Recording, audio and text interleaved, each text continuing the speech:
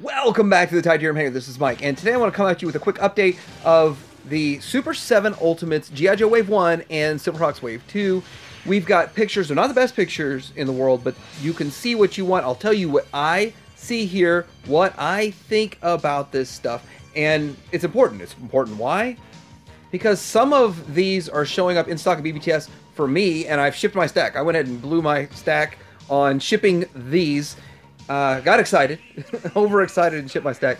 But what does it look like? We haven't actually seen these. There's no reviews yet. There might be by the time I'm finished making this video, but I haven't seen anyone do a review yet. I haven't seen even any pictures of real production other than prototypes, and you can't count prototypes. That's been an issue with some of the other ones with Super 7, but this is the real deal in hand images. We're going to look at this.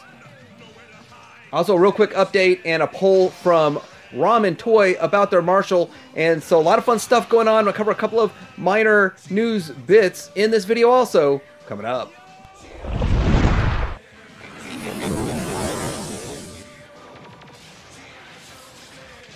All right, so I'm going to lead off talking about the Silverhawks. Now, this is Wave 1. We are not going to get Wave 1 yet. We are getting it, but not yet. We're going to get Wave 2 first, and I know there's a lot of people out there that are like, well, it doesn't make sense how is Wave 1 coming out after Wave 2, and the thing is that things happen, right?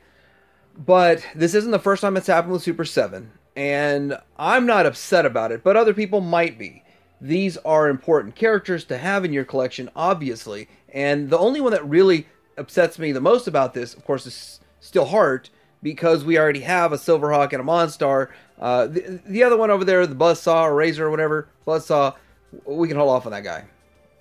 So Wave 2 is in stock, and I am shipping what they've uh, made available for me, and that is Steelwill and the Windhammer figure. So the reason mine, I, this is why I think mine aren't coming in stock at the same time, because I pre-ordered a couple here and a couple of TF Source, and I decided to consolidate all into one and so I've got them all coming from here. TF Source really isn't so big into the action figures; they're more into the Transformers and stuff. So I'll just consolidate my action figures all to BBTS, so it's all coming from one spot. So with that, some of my pre-orders are months apart, meaning that they got to work through all their other pre-orders. For me, I don't know how your experience is going. First picture I'm going to put up here is Monstar. Now, this Monstar is interesting and cool because this is how he is before he does his transformation with the Moon Star of Limbo. So he is the smaller Mon Star, and then he gets into the bigger Mon Star. Uh, it comes with three heads. He's got all this stuff right here. So so the, this is not the best picture. Uh, some of these other pictures are actually better than this, but I do want to show the difference between the two. So the render on the left is what it was going to look like, and on the right is what you're actually getting. So looks like the little dude is a lot smaller. His little companion on the right is a lot smaller and has less paint apps than what we were going to get before in the render. And the whole position of everything is different. So, I mean, I understand all of that, and the render is just the render, but this is the real deal. This is kind of how you know it's the real deal. Uh, does the face look good? I, it looks pretty good here. I don't really see any paint app issues, but of course, this is a bad picture, probably the worst picture out of all of them. So, we're just going to take a quick look at this and now move on.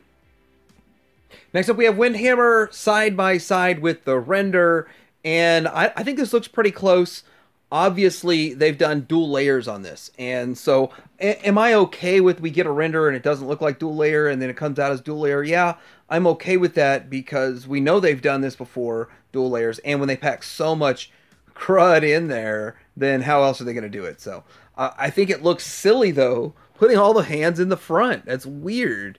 Having all the hands in the front would have been kind of fun to see his tuning fork up front and to see maybe the other head or the lightning effect or something not just 20 hands up front, but he does have soft goods, which the soft goods don't come through very well as soft goods in this. And I'm sure once you get him out of the package, you would adjust his soft goods dress thing he's wearing there. So I do think it looks pretty good here. Uh, does does kind of suck with his head is kind of looking up instead of straight forward. If you're a mint package collector, that would probably get on your nerves because I know I'm mostly a mint package collector for modern stuff, but these look really good. So anyway, I still think it looks good. I think this is going to be a win. I'm hoping for it being a win. When I get it in, of course, I'm going to do a review on it.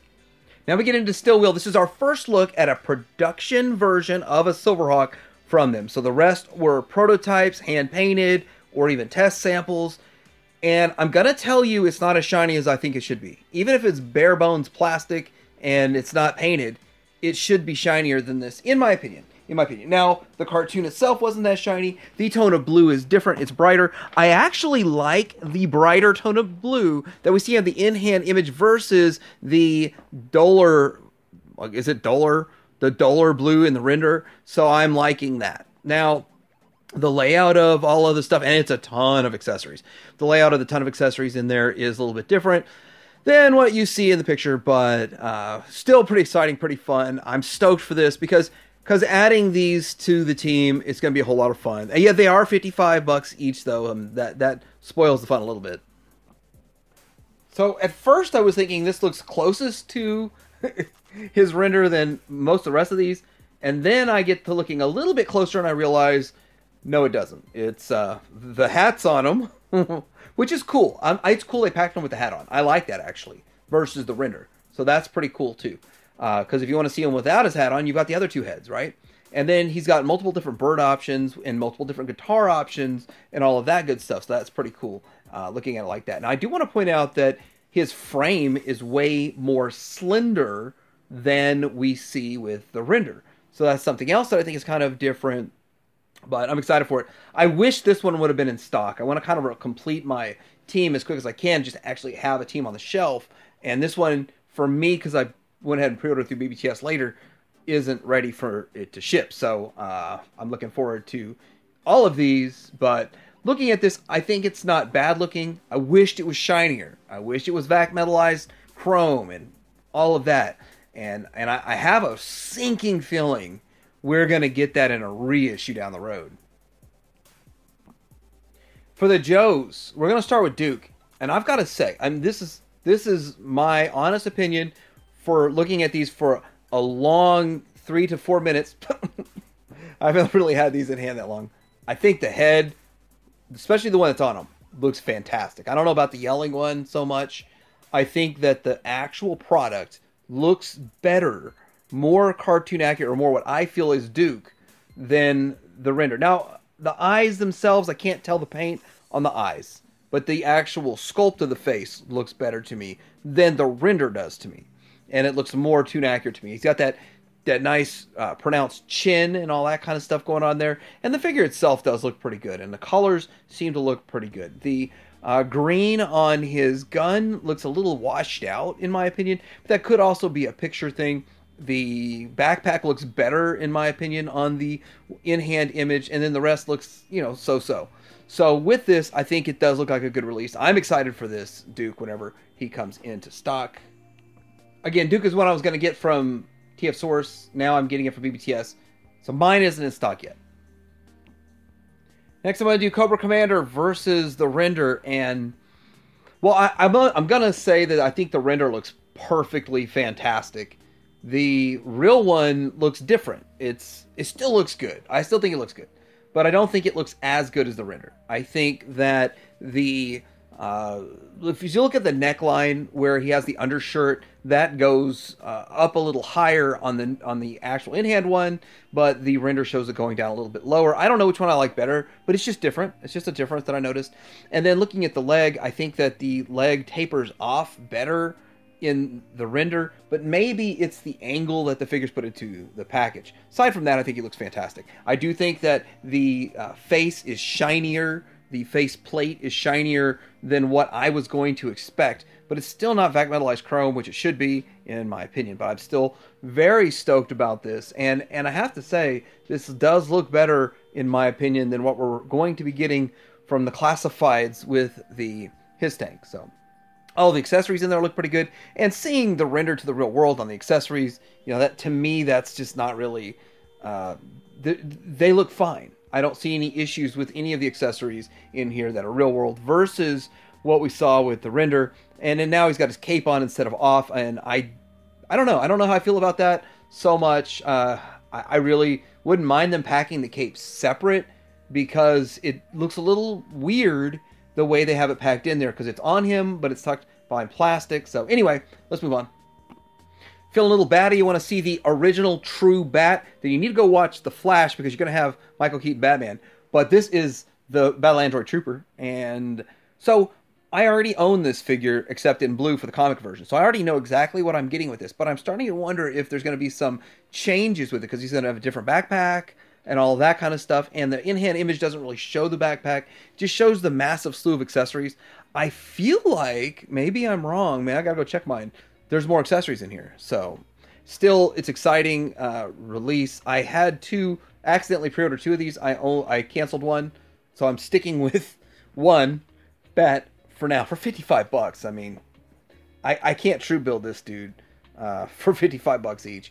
I hope someplace like Entertainment Earth eventually has a sale and they got them cheaper for like 30 or something. I'd get a couple more, but I got to get one at least to start it out. So looking at it, the face mask is not as shiny as the render. And with that, I'm okay with it. I'm actually fine with that. It's just something I noticed that's different. And uh, I do like the really shiny silver that's on it. It's shinier than the render. And everything in the chest piece and all that kind of stuff, all that looks great. So uh, this is a really nice looking figure, and I will like this one way better than the comic version. All right, so we got Snake Eyes and Timber versus the render. Now, for whatever reason, Timber is in the front, and uh, the backpack is super bright purple, uh, which is fine with me. It matches the that matches the paint that they used on him and all that kind of stuff. And uh, his container looks more cartoon accurate. I think that they did. So here's what they do: they put the renders and they do this stuff, and then they get in the samples in hand, and they go, "No, no, no, I don't like this. I want it to look more like this. I want it to look more like that." That's what they do, and that's what all the companies do. Every, every company does that. Uh, Hasbro does it, Mattel does it. Uh, they all do it. Ramen Toy does it. They they get it in hand. They say, "Nope, I, I want a different color." And you know maybe that was their original thought was we want it to look like this render, and then they're like, "Nope, nope, I want to change this to that, this to that." And that's just how they do it. That's why they're so much different. I I love the look of this. For 55 bucks versus what Hasbro's given to you for uh, $43. So it's $13 more. So the the price difference between this is very narrow from a Super 7 to what Hasbro's doing with their pack, the 43, 42, 43 dollar packs. So it's they're narrowing that gap a lot versus say a Duke, which is you you can get you could get a Duke for 20 is what I paid for my Duke but Duke's 55. It's $35 difference. It's a $13 difference. So this is a definite value, and I wasn't going to get it because I didn't really care about the blue version of him, but the value is there for this guy. Okay, a couple miscellaneous items. I do want to talk about Ramen Toy and uh, the the Marshall. Now this is their take on a uh, BraveStarr-ish toy line. I hope they do tons of characters. There only nine nine figures got made for this line. They, they could have made 30 or 40 characters, 50 characters. I just hope that Ramen Toy is successful with this line and gets out a multitude of different characters that never got made before. But you got to start with the main character, and then after this, they're doing what's called 3-0, which is a 30-30 lookalike. And uh, there's going to be supposedly going to be a story, a comic, and all that kind of stuff that is associated with this. But I do want to point out that there is a current uh, poll for this. I'm gonna try to link it down below. It's a Facebook poll. What you want his uh, chess piece to look like, and you want the white or the blue. But but truthfully, what everybody's saying is is the exact same thing. They want it to look as close to the cartoon accurate as possible, and so there's people are showing pictures of the cartoon and all that kind of stuff. So we'll see what happens with that. I think that the renders look great where they're at, but yes, I want it to match cartoon the best that they can. So I'll link that down below. Ramen sent me this video showing basically how their vehicle, their Red Gull Wing, is going to operate. It shows how, you know, the wings pop, all that stuff pops up on, there, on there.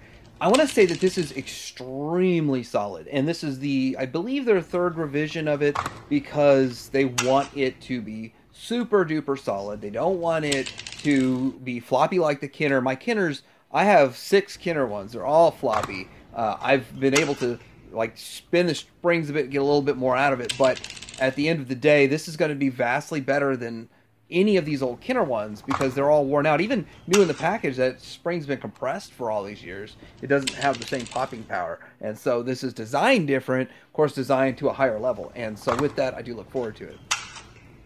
Lastly, I do have some news about this figure Obscura. Now, I I didn't check it now, but I've checked when I pre-ordered mine. $14 down. It's not going to come out till 2024. It's like a year away. So uh, that's kind of crazy. Okay, so this pre order is going to be fully open for a while. You get $14 non refundable down payment at BBTS. And there's like 17 places to pre order this, but not available till first quarter of 2024. So you're you're basically waiting until next year to get this thing, but it's still pretty cool. Uh, it's it's it's awesome. I I missed out on the first go around, but I think these colors look better, so I'm in on it. But you know what? Really, it's really strange because I'm barely in on this, and I'm starting to wonder how I'll feel about it in 2024. So it's the stuff that I'm super hardcore behind. I know I'll love, but this is something that's kind of like, yeah, it would have been nice to have gotten it a little earlier than first quarter of 2024. So anyway, what do you think about this reveal of Super 7 and the comparison to their renders and all that kind of stuff? And let me know if this was helpful for you to make your decision whether you're in or out. Just say no. Just say yes. let me know in the comments below. Teddy Hanger out.